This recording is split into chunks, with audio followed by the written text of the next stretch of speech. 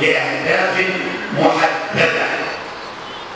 لنعبر عن انتمائنا لسماحة الإسلام وعن انتمائنا لوطننا. وأكدنا أن مصلحة الدين لا تنفك عن مصلحة الوطن. فمصر هي القلب النابض للعروبة والإسلام. وهي حصن الأمان لدينها وأمتها. جئنا لنعبر عن انتمائنا لسماحة الإسلام لوطننا لأزهارنا الشريف لأوقافنا لرسالتنا السامية.